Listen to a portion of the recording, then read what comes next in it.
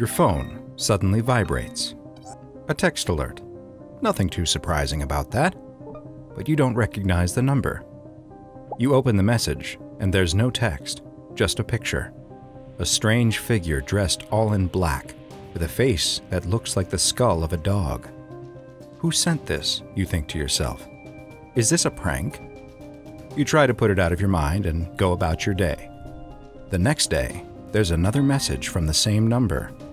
You open this one to find the same dog skull faced creature staring back at you. But this time, you recognize the background. Is that your house he's standing in front of? Now you're getting a little freaked out. Someone is trying to mess with you, you're sure of it. But what can you do? Another couple days pass, and you get another message. You don't need to look to know it's that same number again. You've been getting plenty of these over the last few days. You're really scared now, and you run out of the house to your car. You've got to get out of here. You drive, and while stopped at a light, you decide to finally check this latest message and see what it is. It's the creature again, but this time, it's a picture of him sitting in the back seat of your car. You put your phone down and slowly turn your head. Hi, I'm Dr. Bob, and this is SCP 1471, also known as MalO version 1.0.0. SCP 1471 is a very interesting anomaly that's not really a creature or a monster or even an object. It's a mobile app. It's 9.8 megabytes in size and is freely available in online application stores where it's listed under the name MalO version 1.0.0.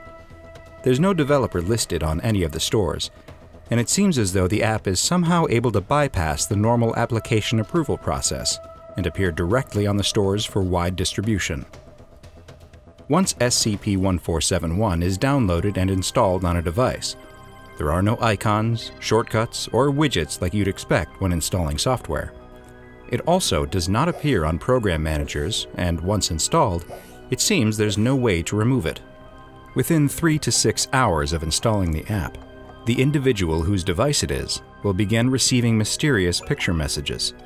All of these images will have one thing in common Somewhere in the foreground or background is a large humanoid figure with a canine like skull for a head and long black hair.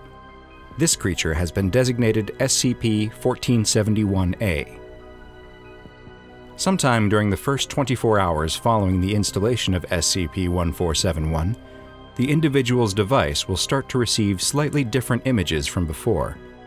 These images still always contain instances of 1471A, but now, the locations will be recognizable to the individual. These pictures will be of places that the individual regularly frequents, like their local grocery store, their school, or their work. These sorts of images will continue to be received until 48 hours since the initial installation has passed. At that point, the device will start to receive images of places that the individual recently visited, like an image of the restaurant where they picked up their lunch an hour ago. Just as before, all of these images have SCP-1471-A somewhere in them, as if it's been following them and wants them to know it. After 72 hours, things get even stranger. Now the pictures received by the individual will be of them in real time. They might receive a picture of themselves sitting on the couch, taking in that exact moment, except SCP-1471-A is standing right behind them. But when they look, there's nothing there. It's as if someone is photoshopping in this bizarre canid creature, but doing so impossibly fast. Finally, after over 90 hours have passed since the app was installed, the weirdness reaches its peak. The individual no longer receives photo messages, but instead will start to catch glimpses of SCP 1471A in real life, either in their peripheral vision, in reflective surfaces, or in both. At this point, the individual afflicted will continue having visualizations of SCP-1471-A in the real world, a result that so far has been irreversible.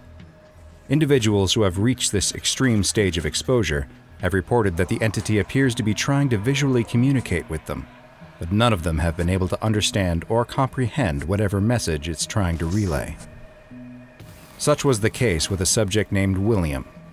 William had first been exposed to SCP 1471 at 15 years old when his sister, Sarah, showed him an app she had downloaded earlier in the day. The app's description states that you will never have to settle for awkward feelings of being alone ever again. That MalO is an exciting and interactive experience that will keep you engaged and intrigued, and that after just a few hours of MalO, you will soon forget all about those painful emotions of disappointment.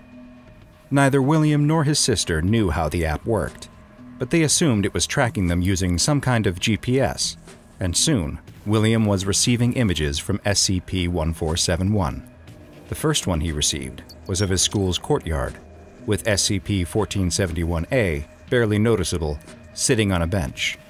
He had black, matted fur, knife like claws, a set of blank, pure white eyes, and a face that looked like the skull of a beast with a large, wolfish grin. William was immediately frightened by this, but Sarah insisted it was cute and funny. William wasn't so sure. The pictures continued over the following days, with SCP 1471A appearing at his school, at his bus stop, on his street, nearly everywhere he went. And then, the pictures started appearing as if they had just been taken the moment they were received.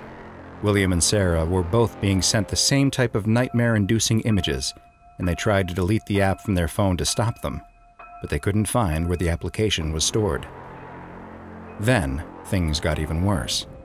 The creature started appearing to William and Sarah in the real world. William, as it turns out, was the lucky one, as SCP 1471A primarily appeared to him in reflective surfaces like mirrors, which he could cover with a curtain when he didn't want to see the strange dog skull face with its toothy grin staring back at him. Sarah was less fortunate. She saw the creature everywhere she looked, it always appearing just outside of her periphery, catching glimpses out of the corner of her eye, or feeling it looming over her and watching her as she slept. William has been able to cope with the appearances of 1471A, even regarding it as a somewhat comforting presence at times. Sarah, sadly, was driven mad by the never ending visions of the creature. Currently, the only known treatment to reverse the effects of SCP 1471 and the appearances of 1471A is to eliminate the individual's exposure to the images before 90 hours have passed after installing the app. Once those 90 hours have elapsed, though, it is too late, and SCP 1471A becomes a permanent presence in the individual's life. Thankfully, 1471A has thus far remained non hostile and has not been shown to pose a threat to those afflicted by it, at least, not a physical threat. All mobile devices that are found to have MalO version 1.0.0 installed on them are to be confiscated and analyzed for any potential information as to who might have created the application, as well as leads for other devices that may have been infected. Following this investigation, the device's batteries are to be removed and the device placed in Storage Unit 91 at Research Site 45. Additionally, all online application stores for mobile devices are to be monitored to prevent unsuspecting users from inadvertently downloading the anomalous software. Any individuals who are suspected of having downloaded SCP 1471 will have their device targeted by a self uploading malware that can disable it until it's able to be seized by Foundation agents. Due to the unpredictable nature of the anomaly and the potential sentience of the software itself, SCP 1471 has been classified as Euclid by the SCP Foundation and research into ways to hopefully one day contain the anomalous software is ongoing.